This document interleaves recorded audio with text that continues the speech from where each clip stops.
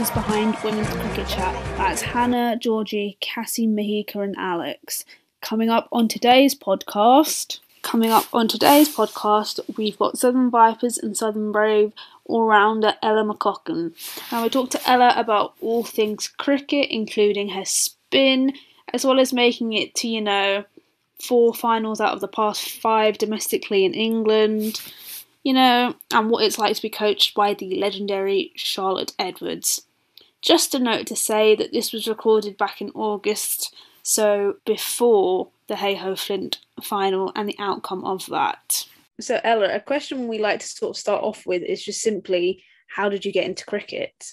Um, well, I'd say that because both my parents were originally they were PE teachers, so I was always brought up with sport, like loads of different sports, not just cricket um, and quite an outdoorsy childhood. So I'd say that probably helped me with my sport, like hand eye and stuff. And then um, my brother played, went to his local club, so I just went down. It's quite like it's quite common, but I feel like an older brother. Um, and so I went down, started playing. I was the only girl, and yeah, I just really liked it and carried on. So that's how I kind of got into it. Yeah, and what were the other sports that you you played except from cricket? And when did you decide that actually I just want to focus on cricket? Um, so I played football for Brighton from when I was 11 till I think 15, and that was like it was quite a big part of my life as well. Um, and I decided when at that point it was like before my GCSEs, and I thought I need to focus because I was t- it was taking up so much time and that's when I decided because I was better at cricket, I'd focus on that one, and that was what I really had the love for. So that's why I went down this path. Yeah, and, and talk to us a bit about sort of going from like club cricket and then to county cricket for Sussex. How did that come about? Was it like a, a trial day you went to, or, or did someone put you forward?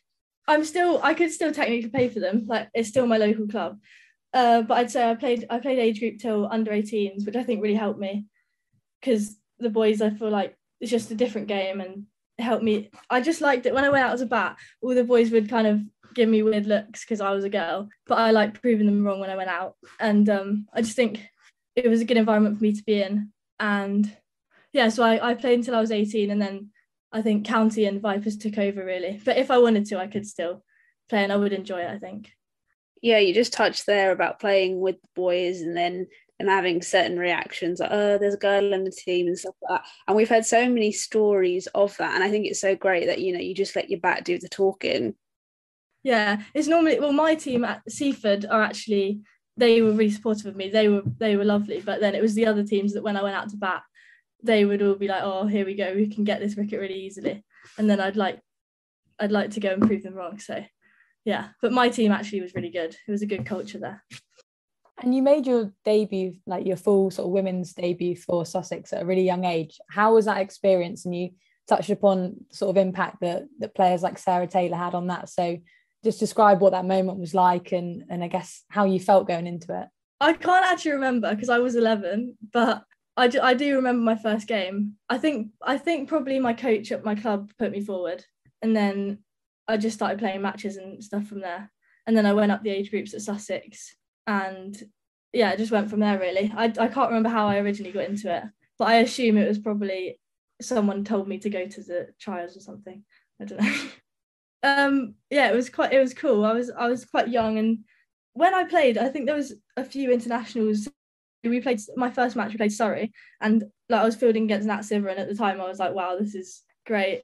Um, and yeah, I just I just remember learning loads and asking loads of questions to all of them. And I, I think um, I probably quite annoyed Georgia Elwiss because we were playing Devon once and we were just sat wait I was sat waiting to bat and I think she was probably in next and I was just badgering her about loads of I was just asking her loads of questions. But I was just intrigued and wanted to know as much as possible. But yeah, I really enjoyed it and definitely learnt loads from how they how they warmed up, how they went about the game and stuff. So yeah, it was it was really good for me. And growing up, did you have any female role models or any cricketing role models at all? Yeah, um, I'd say one of my main sporting role models was Jessica Ennis. I think um, London 2012, I just basically idolized her and wanted to be a heptathlete because I, I don't know why, I just loved watching her and thought she was amazing, being so good at so many different events. Um, but then also in cricket, because I'm from Sussex, obviously Sarah Taylor was a big one. and I actually got to play with her at county, which when I was that young was quite cool for me. But I'd say, yeah, they're probably the two main ones. And then I had other role models that aren't famous, but like my football coaches and stuff like that when I was younger, they were really influential as well. And my parents. I have to say that. I have to say that. But no, as in, as in, like my dad used to throw balls at me for hours, and I have I can thank him a lot for that because he's probably the one that's got me this far. Really, just putting loads of time into me. Got to give the parents a shout out. and you are still so young and you've played so much cricket. What's been sort of your career highlight to date? Um, I would say either winning the Rachael Heyhoe Flint Trophy in well both years, but I'd say 2020 was more special because I got a few runs at the start and it was after COVID and everything and like we hadn't been playing cricket. So but being back playing cricket at that in that year was amazing. Um, and being with everyone. So winning that was great. And then also this year, the winning the Charlotte Edwards Cup because she's our coach and it was just a special moment to hit the winning runs as well. Um, yeah, I'd say that was probably they're probably my two highlights. Yeah, I was going to touch upon that actually, like you scoring the winning runs against Central Sparks in in that competition. How did that feel? What were the celebrations like after the game?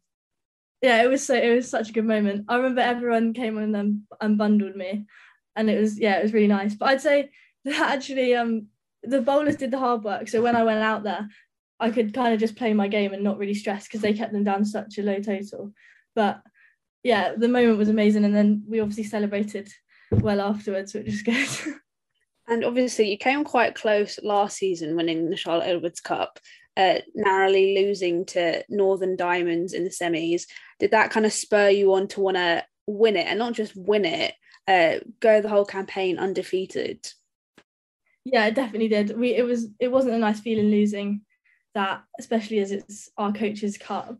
Um, so we definitely we wanted to go go hard this year, and we worked really hard over the winter as a team, and we just thought obviously we weren't we were expecting to do really well, but being undefeated was was a bonus and and to win it like that was amazing. Yeah. And I think it shows us our hard work as a team really. Yeah, and like we said, you're still really young and you're obviously in a in one of the top sides, the Southern Vipers. So are there any like specific goals or aims that you've got to yourself this year or this season that you want to try and achieve with the Southern Vipers?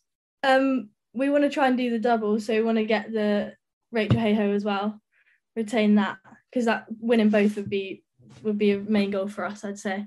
Um, and yeah, just keep keep winning, keep getting better as a team. Because also because of our internationals, we've had quite a few go off to international duty, so we've kind of tested the depth of our squad. People coming in when they go off, and I think we've shown what we can do because we've still won with teams like that. So yeah, I'd say just keep keep getting better and keep winning. You are also one of two undefeated teams in the Rachael Heyhoe Flint. I believe it's you and uh, Northern Diamonds, both with four wins out of four.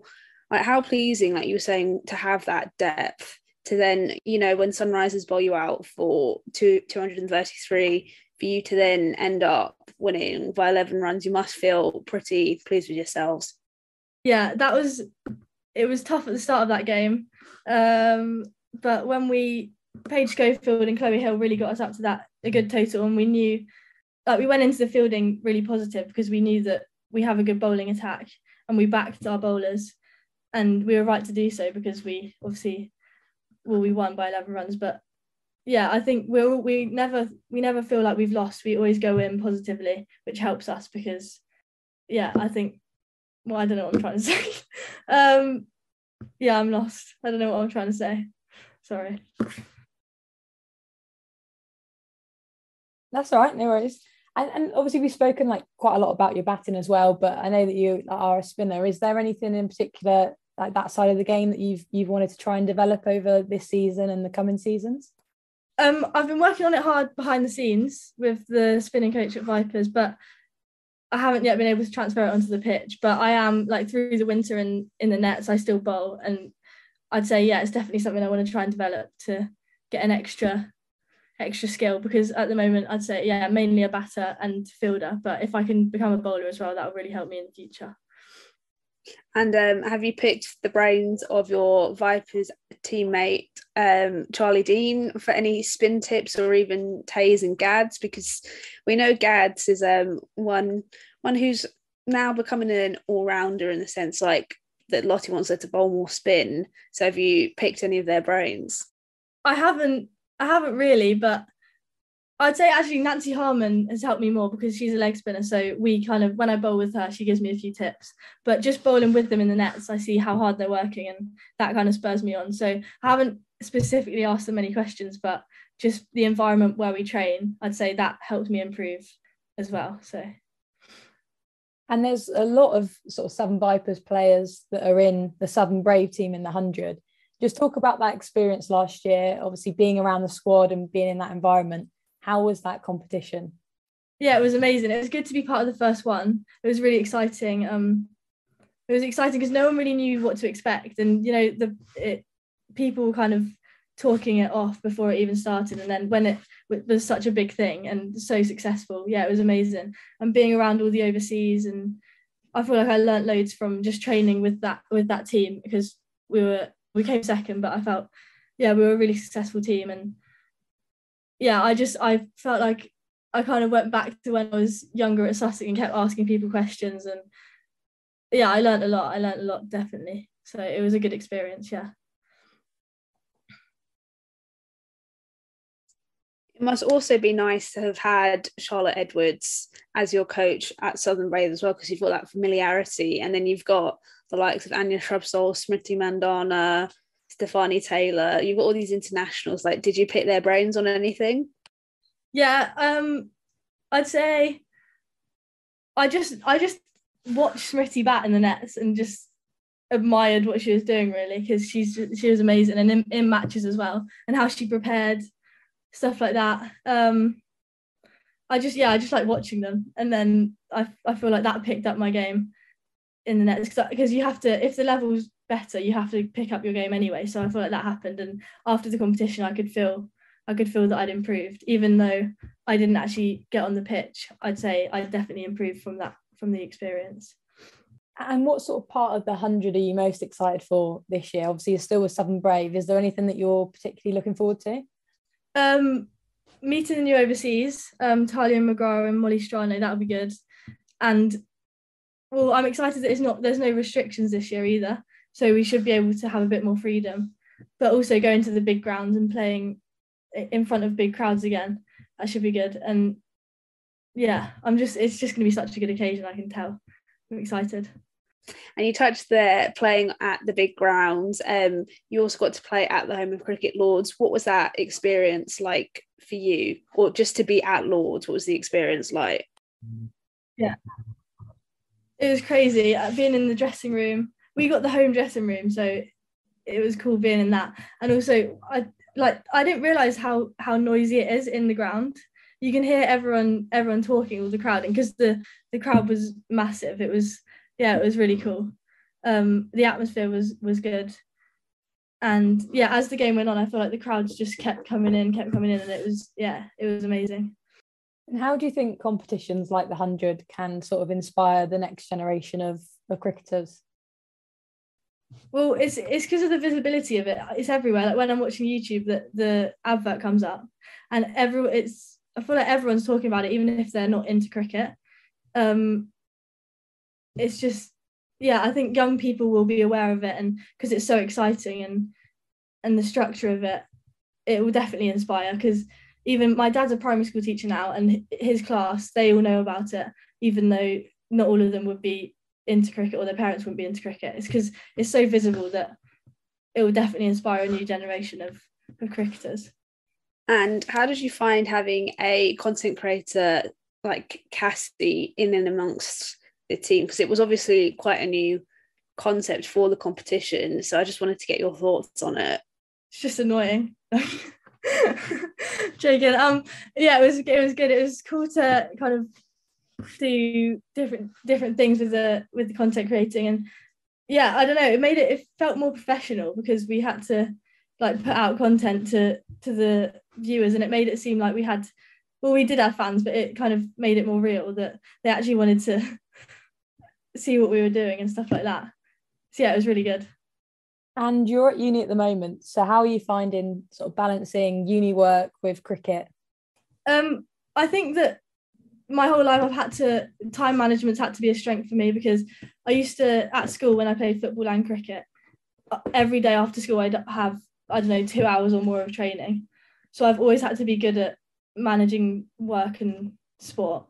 Um, but I kind of I just schedule my time and it is quite hard because doing law as well it's quite a lot of reading and stuff like that. So managing that first year I dealt with it quite well but I feel like it will get harder the next two years but I I kind of I know I can do it because I've done it in the past. So yeah I just schedule my time really and put more emphasis onto things that matter more.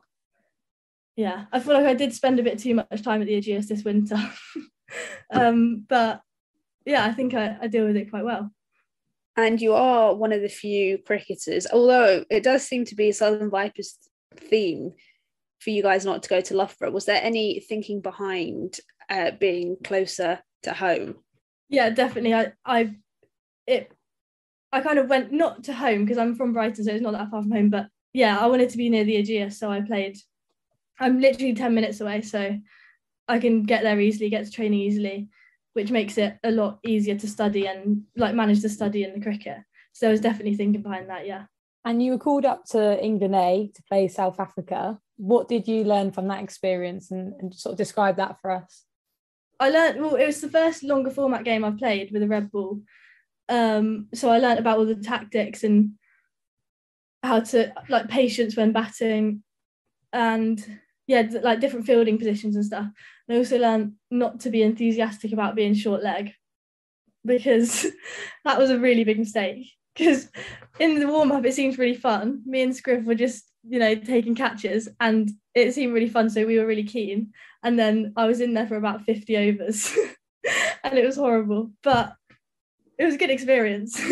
But just don't be enthusiastic about it because you'll be stuck in there the whole game. So yeah. And how do you prepare for the red ball game? Because it is quite a scarce thing in the women's game. Like we get a test match here and there and like a few games for the England A. So how do you kind of prepare yourself, get your head in the right frame of mind to play the longer formats? Yeah, I think being more patient at the start of my innings was definitely a thing because the ball swings a bit more at the start. But other than that, I just try to be keep being positive and just play my game because I knew that if I if I actually committed to shots and stuff, that it's better than being you know tentative because it's going to swing more. So, and it, it worked in the second inning. The first innings wasn't very good for me, but in the second innings I ended up getting some runs. So, yeah, it was good. And being around like play, batting with Eve Jones was good because she was she's obviously more used to it than me. So, yeah, I I learned to just be patient and play my game. Yeah, it's not as good as it seems, definitely. And yeah, was there any was there any difference because you might have played like red ball cricket when you played in the boys teams, but I know certainly a lot of the the women's stuff is white ball. So was there any difference like in terms of batting of like approach and, and if the ball did anything differently? And, and do you have a preference with with formats? Do you prefer T20, 50 over, the 100? Is there any in particular that you feel like is is kind of like your game? I don't know. I'd say I enjoy all of them. I'd say most people would kind of classify me as 50 over, but I I think this season I've shown that also I'm I can play in T20s as well. Like I've shown that I'm I can come in in the middle order and and get runs and stuff like that. So I don't want to just be put in one category because I feel like there's that I can adapt my game to each each thing. Yeah. And with the women's game being a lot more visible now, like how pleasing is it also for you to see like your Southern Vipers teammates, Charlie Dean and Maya Bouchier, sort of fly that Southern Vipers flag in the England team it's so it's so nice. I think as a team, also in Vipers, we've got this culture of everyone's happy for everyone when they do well. So it's just great to see them see them doing well. Um, even you know Freya Kemp play, making a debut for England, everyone was behind her, and it was so cool to see her on telly in the Commonwealth Games. Um, yeah, so I think our culture makes it well. Everyone's happy for them, and it's great to see them doing well, and it kind of shows the pathway as well gives you kind of inspiration because they've done what we're doing now and they've got to the top. So yeah, it's really cool. And just on that, what are your sort of ambitions for the future?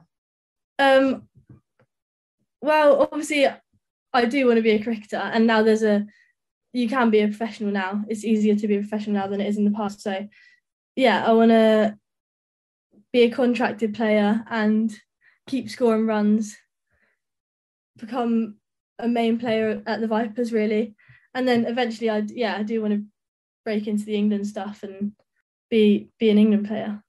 And you talked about Freya Kemp making her debut for England against South Africa, playing in the Commonwealths.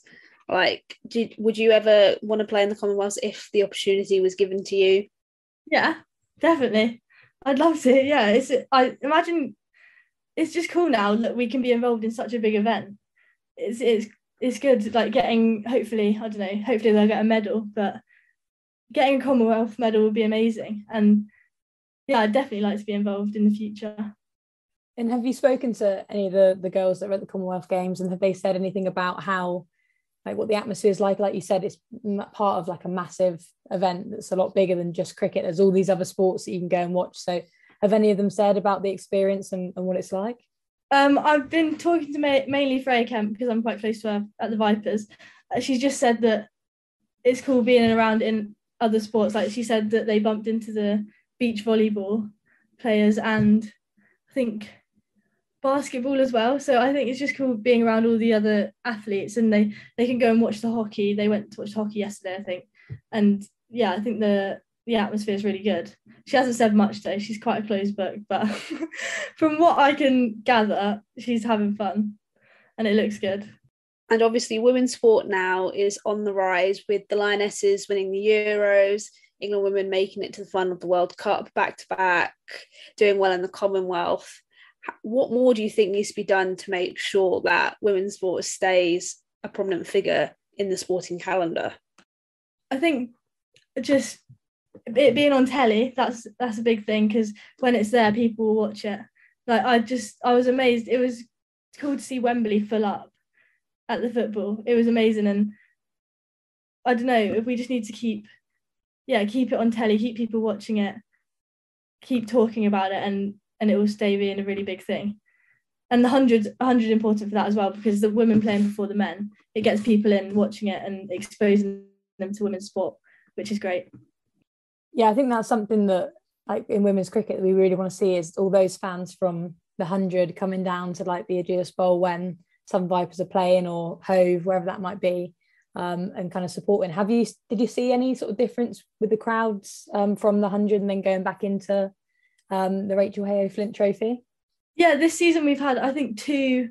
We had the biggest crowd it was something like a record crowd at the Ageas for the for one of the T20 games, and then also I think last week it was a record crowd for the Rachael Heyhoe Flint. So it's definitely getting bigger, yeah. And I think because people are being exposed to the women's game, they're realizing that actually it's it's different to the men's game, but it's it's really good. And if people realize that, then they'll keep coming to watch. And because it's just another good sporting event to watch. If you like sport, then you're going to like watching it. So yeah, I definitely think the the crowds are getting bigger and the fan base is growing. Just also on you playing for Southern Brave, I don't know how much contact you guys were allowed last year with the men's team, but did any of them offer you any advice, or is that something you're looking forward to this year for the campaign?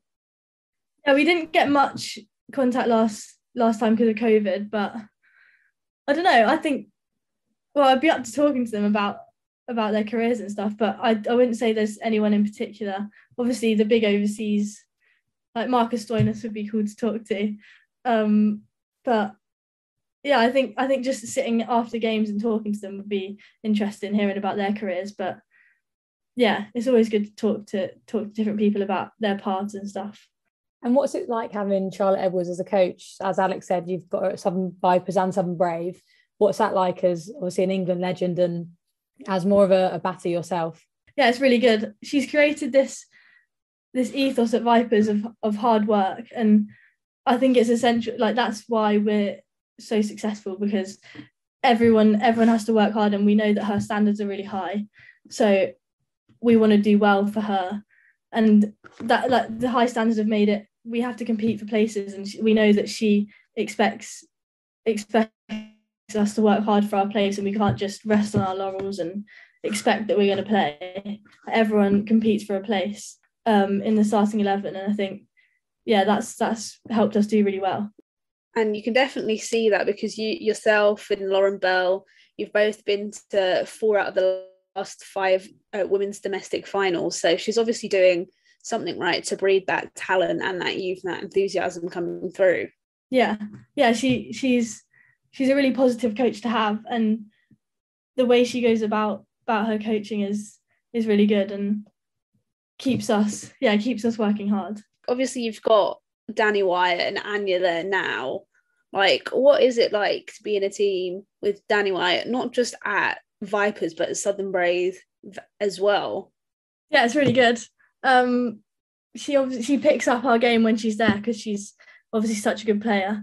Um, and she helps us compete for places as well because when she's there, you know that she's gonna get in the team straight away. Um, she's really funny as well, so she's good to have around the team. And Anya as well. She she's she's great. As soon as she came there, like she fit in straight away, and she has high standards as well. So her and Lottie together really lift us up as a group. Um, yeah, it's it's cool to be around such prolific players. Yeah, it's a good point because, like you said, Anya's come in as a bit of a like player co- coach kind of role. So, like, how has it been to sort of? I know she's more of a bowler, but still sort of give you that advice, having all that international experience. Yeah, it's really good. I can tell, like, when I'm batting, even though she's a bowler, she's bowled at some of the best bat, well, the best batters in the world. So whatever she says, I'm like, okay, I take it on board. And yeah, she's really good to have around because her her cricket knowledge is obviously amazing. So yeah, it's good to ask her questions. Now, I don't know if you if you haven't got any more questions, if you wanted to do a bit of a what is it we end on? I can't remember. I haven't done this in a while.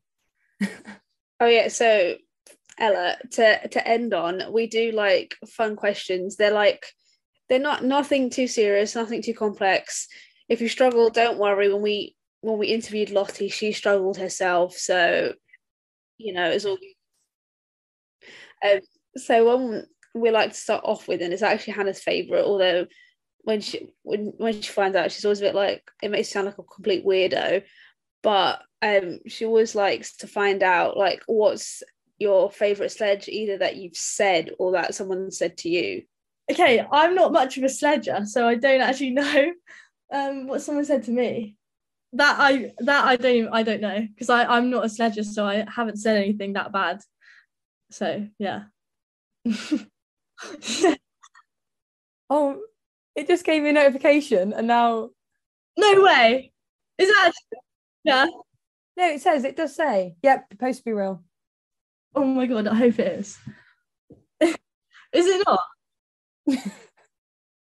No this is this is gen z. Oh come on. You can't, you can't say oh it is. Okay. You go first. Thumbs up. Cassie, you're could be you. nice. There we go. We can use that to promote the podcast. Great be real. Go on now. Sorry, say your thing, but no worries. Um, another one of Hannah's favourite is what is your favourite tea item at a standard village creek tea? And I'm talking food, not actual like items like spoons and glasses. um, cold pizza. Okay, next one. Who is the DJ in the Southern Vipers? Maya Bouchier. Every time. She never misses either. She's in charge of the music and no one else is. And and everyone respects it. Who's got the worst fashion sense in the Vipers? Oh, um Emily Windsor. Sorry. Sorry. Sorry, kiddo. But it is her. Who would you want to be stuck on a desert island with out of the Southern Vipers team? Probably Freya Kemp. Because we get on quite well and she's quite level headed, so I think she wouldn't panic too much. Best place you've played? Um, Ageas Bowl. Best player you've played with? Smriti Mandhana. Best player you've played against? Um, who have I played against? Got Uh oh, um, Marizanne Kapp. Yeah, Um, what's your spice level at Nando's? lemon and herb. don't don't judge me. That is shameful. Yeah, I'm not. I'm not. It could be worse. You could be a plain. If you had a plain, I would lose respect for you. Favorite genre of music? Either probably indie rock, or yeah, probably indie rock. and if you had to listen to one song before you went out to bat to get you pumped up, what would it be? Um, what's that song? It's called "Move Your Feet" by someone. What? C- come on, everybody, let's move your feet. That one. Yeah, yeah, that one. Don't know why. but yeah, yeah, yeah. don't know what it's called. I think it's called Don't. Is it Don't Stop the Beat? Is it called Don't Stop? What by Basement Jaxx? No, no, it's called "Move." Hang on, let me look it up. It's we're gonna we're literally gonna Oh, favorite um holiday destination? probably the Alps skiing, but I haven't been for a few years. But that would be my favorite. Would you say you're a good skier then, or Um, I'd say I'm okay. Probably a bit rusty, but if I get into it, then I'm okay. I think you could probably go skiing with Cass because I feel like Cass is a good skier. I'm all right, although I, I went in February and I got wiped out by this man. Like literally, I was stopped. I was stopped at the bottom of this slope and he just came around and literally just took me out, like fully. Like I was on the floor and he came up to me and he was like, I know he couldn't speak English, he was speaking German to me. And I was like, I was like, I'm fine, I'm alive. I'm okay. That's horrible. yeah, it was pretty horrible.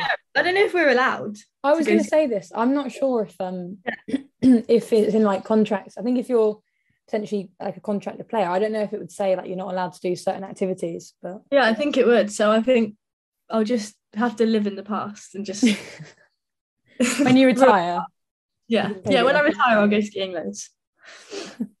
um, T20 or the hundred. Hundred Southern Brave or Southern Vipers? Southern Vipers. I'm all out of questions now. Last TV show you binged? Um, How I Met Your Mother, and I did binge that. I watched it really quickly. And I think this will be the last one. But if you weren't a cricketer, what would you be? Not a lawyer. Um, um, probably, hopefully, an athlete of some kind. Maybe, maybe. Oh, maybe a footballer. Yeah, maybe. Yeah, I think that's a good one. Yeah, Nice. I think so. Just quickly, Ella, where can our listeners find you on social media if they want to see all your Gen Z stuff, which I I don't quite understand because I'm not quite a millennial, I'm not quite a Gen Z, but uh yeah, where can the listeners find out about you and everything you're up to? Um, well, Instagram probably the main one, just at Ella McCaughan, and then I'm on TikTok as well. So if they wanna, if they wanna check out, they can. I'm not very, I'm not very influential on it, but I do post. So Is that taking inspiration from Georgia Elwiss? 'Cause I, always Actually, see, no. I always see her TikTok. so she started after me, but she's more famous than me, so obviously she gets more views. To be fair, definitely keep using it though. I feel like some some people have like you can just get so big quite quickly. Yeah. But it's not Yeah. very catchy, so that might be why. Unfortunately for our TikTok, it just doesn't seem to um translate. Really? I mean, we might have to get you. We might have to get our Gen Z specialist Ella McCaughan on the case. Yeah, but I don't post that much about cricket on it. Maybe I'll just start posting about. Massive thank you to Ella for coming on and being a guest on the pod. It's really interesting to hear about her career so far, and also that she chose a university closer to the Ageas so she could spend more time training. So I thought that was really cool. If, like me, you're not quite Gen Z, but you're not quite a millennial either, don't feel too bad if you don't know what a BeReal is, because I'm still trying to rack my brains around that one. But once again, massive thank you to Ella for coming on and being a guest. And to all our listeners, if you want to keep up to date with everything that we're doing, you can follow us on Twitter at WCricketChat on Instagram at Women's Cricket Chat. And if you want to give us a like on Facebook, we are Women's Cricket Chat. If you'd like to give our personal Twitters a follow, then it's at Hannity1194, at Georgie Heath27, at Cassie Coombs98, at Mihika Barshni, and I'm at Alex Jane Pereira. This has been Women's Cricket Chat. Tune in next time.